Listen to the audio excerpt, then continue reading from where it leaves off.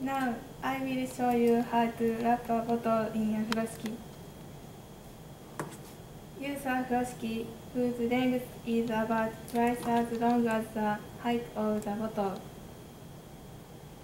First, put the bottle in center.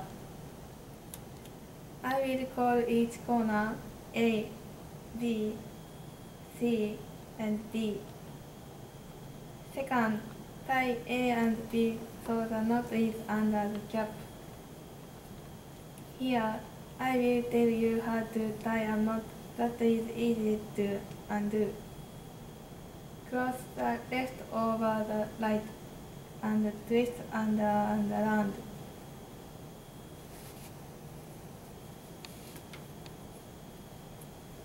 Next, cross the right over the left and twist under and around.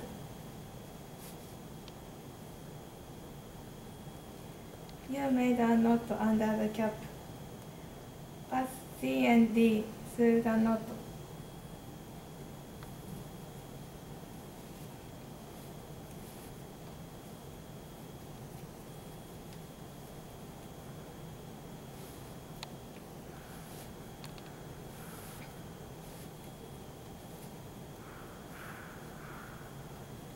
Then tie C and D, left over right and twist under and around.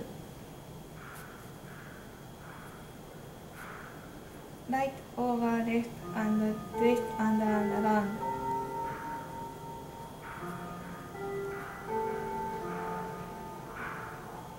So that you made a carrying handle.